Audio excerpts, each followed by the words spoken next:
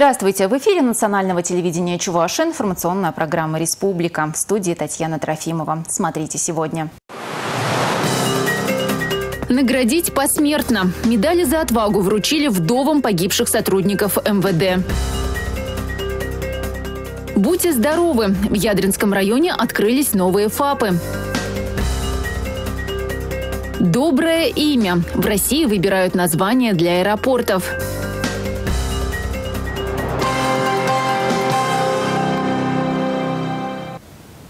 Медалями за отвагу наградили двух сотрудников МВД по Чувашии. К сожалению, посмертно. Памятная церемония прошла сегодня в Доме правительства. Старшина милиции Сергей Фомин и майор милиции Валерий Сидоров погибли при исполнении служебного долга в 2005 году в Чечне. Их автомобиль сопровождал раненых, когда боевики совершили нападение. С момента гибели сотрудников милиции прошло более 13 лет, но память о них навечно вписана в истории органов внутренних дел. В МВД по Чувашской Республике не забывают о погибших коллег. Всегда заботятся об их родных, близких, оказывают им помощь. Государственную награду за проявленное мужество и отвагу глава Чувашии Михаил Игнатьев вручил вдовам погибших. Мужество сотрудников силовых органов, их беспримерная храбрость, самоотверженность, патриотизм – это те качества, которые особенно ценятся в нашем обществе. Для нас это залог безопасности, стабильной общественно-политической ситуации. Сегодняшняя государственная награда – это признание подвига наших соотечественников – Сегодня в Ядринском районе открылись новые фельдшерско-акушерские пункты. Модульные ФАПы возводили в рамках республиканской программы. Формирование системы оказания медицинской помощи в шаговой доступности – приоритетная задача правительства. Тему продолжит Дмитрий Ковалев.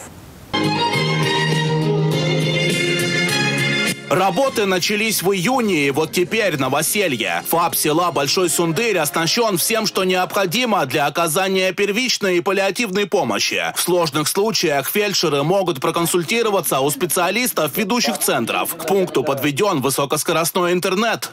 Для нашей работы все условия здесь хорошие. И теплая вода, и компьютер, и теплые помещения. Новая мебель очень радует. На строительство модульного пункта из регионального бюджета было выделено порядка 4 миллионов рублей. В новый ФАП фельдшеры и акушеры переезжают отсюда. В этом сельском пункте пациентов обслуживали более 30 лет. Конечно же, медики старались поддерживать порядок в кабинетах, но здание признали аварийным. Здесь и прохудившаяся кровля, и деревянные скрипучие полы, и вот такая далеко не презентабельная мебель. Работать зимой здесь было невозможно, говорят медики. От холодов не спасали даже тепловые пушки. Ветхое здание снесут и оборудуют на его месте спортивную площадку. Новый ФАБ будет обслуживать порядка 500 человек. У нас вот э, есть и пожилые, и молодые люди, и дети, и школьники имеются. Вот то, что вот в таком э, современном ФАПе, вот дети будут сейчас у нас и население получать э, медицинское обслуживание, это очень замечательно. Нам он очень нужен. Мы очень рады, что сегодня вот такой ФАП появился, открылся у нас в деревне. Модульный пункт был открыт в деревне Кукшумы. Это десятый по счету ФАП в муниципалитете и 179 в республике. Но на этом программа не заканчивается, отмечает Михаил Игнатьев. На следующий год мы предусмотрели еще 25 новых ФАП построить по разным районам, чтобы своевременно провести диспансеризацию, чтобы своевременно на ранней стадии выявить все те болезни у наших жителей э, и у дорогих наших ветеранов, и у молодежи. Туда, где в силу обстоятельств новые пункты возводить не планируют, приедут мобильные ФАПы. Вот такие медицинские кабинеты на колесах появятся в больницах сразу пяти муниципалитетов.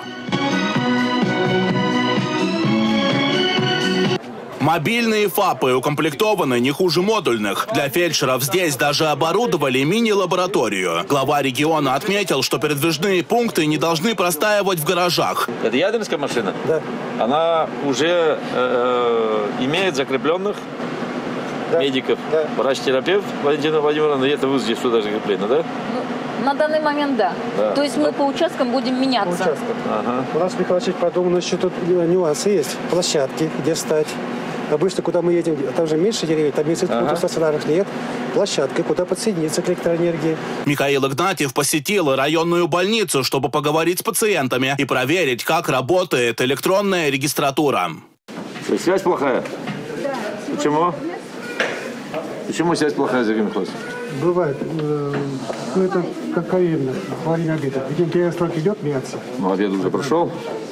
В следующем году на ремонт больницы выделят порядка 60 миллионов рублей. Необходимо обновить фасад и заменить ветхие коммуникации. Ну а весной в Ядрине откроется и школа. Глава региона проинспектировал ход работ. И здесь э, будут созданы самые современные инновационные условия для получения знаний, навыков, для того, чтобы дети наши в школе готовились к самореализации в этой жизни. Это очень важно для нас. Я сейчас убедился в том, что на самом деле срыва нет, у них было отставание, они сейчас по графику идут. Новая школа решит проблему второй смены в муниципалитете. Здание возводят из местного кирпича, проблем с доставкой материала не возникает. До конца ноября здесь должны начать отделочные работы. Открытие намечено на 30 мая. Дмитрий Ковалев и Игорь Зверев. Республика. На координационном совещании по обеспечению правопорядка в Чувашской республике обсудили ситуацию на алкогольном рынке и меры по предотвращению нелегального оборота спиртосодержащей продукции. Реализация алкогольной продукции – вопрос сложный и неоднозначный. С одной стороны, нельзя стремиться к увеличению объема продаж. С другой стороны, если уж на спиртное есть спрос, то пусть хотя бы вырученные средства работают на благо республики. Оба завода в Ядрине и Чебоксарах сейчас работают стабильно, доля их продукции на прилавках растет. Однако есть предприятия, которые предпочитают иметь дело с завозным алкоголем. А в некоторых точках общепита, как показали совместные проверки Минэкономразвития и МВД, вообще идут на откровенный подлог. Выявлены факты реализации алкогольной продукции с поддельными марками специальными. Кроме того, был зафиксирован оборот алкогольной продукции, который не фиксировался в ЕГАИСе, а также реализация продукции э, со старыми акцизными марками. Тоже в отношении всех этих материалов возбуждено дело, в том числе с изъятием алкоголя, с изъятием лицензии и наложением штрафа. По данным МВД, за 9 месяцев зарегистрировано 101 преступление в сфере незаконного оборота алкоголя. Изъято свыше 6 тысяч литров спиртосодержащей продукции. Излишне говорить, что подобные явления одинаково сильно бьют и по здоровью потребителей, и по республиканскому бюджету. Глава республики потребовал от руководителей муниципалитетов взять вопрос торговли алкоголем под строгий контроль, более активно проводить работу с продавцами. Речь не идет о спаивании людей. Речь идет о продвижении качественной продукции. 3 ноября в субботу больница Чувашия приглашают всех желающих на День открытых дверей. Проверить свое здоровье и проконсультироваться с врачом можно по предварительной записи через электронную регистратуру или по телефону.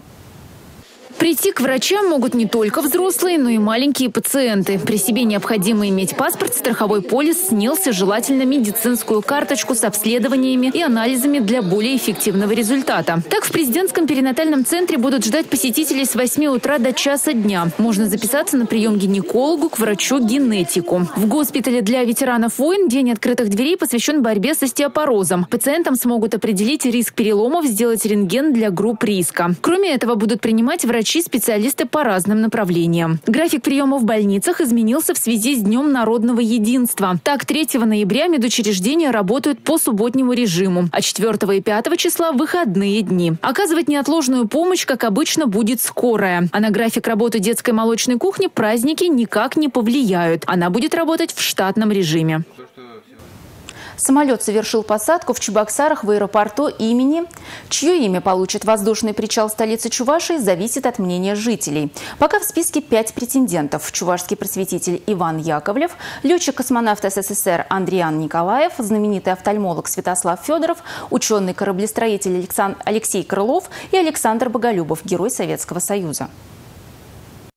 До 11 ноября волонтеры проводят социологические опросы, в результате которых сформируется шорт-лист конкурса, в котором останется только три имени. А 12 ноября стартует финальное голосование. Будут работать площадки волонтеров во всех наших крупных э, центрах э, торговых, э, в учебных заведениях.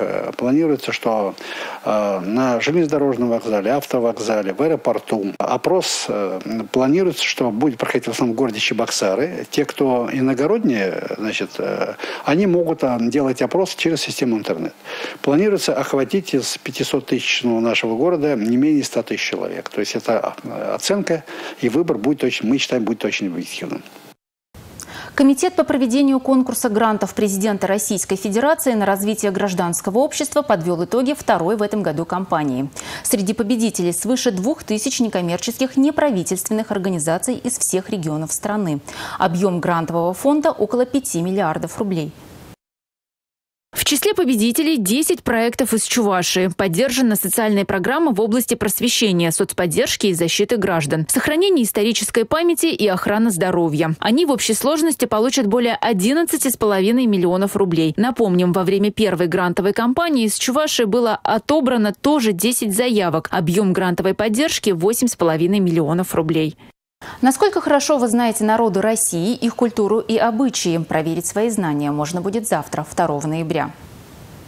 По всей стране пройдет большой этнографический диктант. 30 вопросов, 20 общие для всех, 10 региональные. На выполнение 45 минут. В Чувашии написать диктант можно будет на 13 площадках, в вузах, техникумах, школах, библиотеках, а также в режиме онлайн на сайте Большого этнографического диктанта. Дистанционно пройти тест можно до 5 ноября. Правильные ответы на вопросы опубликуют 10 ноября, а результаты 12 декабря. Акция пройдет в третий раз подряд. В прошлом году свои знания проверили 900 жителей республики республики. 4 ноября столица Чувашии присоединится к Всероссийской культурно-образовательной акции «Ночь искусств-2018». Показать с необычного ракурса возможности современных культурных учреждений и раскрыть их потенциал – цели акции. Вслед за ночью музеев, ночью кино и библионочью, которые уже успели полюбиться большому количеству зрителей, Ночь искусств планирует привлечь большое количество молодежи. Такая нестандартная форма досуга позволит не только приятно провести время, но и пополнить интеллектуальный багаж. Впрочем, для тех, кто регулярно устраивает культпоходы, Ночь искусств предлагает особую углубленную программу спецсобытий. Наверное, именно поэтому Ночь искусств становится популярнее, скажем, каждым годом. На этот раз всех участников ждет сказочный переполох в Национальном музее. Путешествие по сказкам, кукольный театр своими руками, показ мультфильмов – все это в программе мероприятия. Оно пройдет с 5 до 9 вечера. Все желающие смогут принять участие и в мастер-классах «Хлебка из соленого теста», «Кукла-закрутка», игра на народных музыкальных инструментах. Это все новости на сегодня. До встречи в эфире национального телевидения Чувашии. Всего доброго.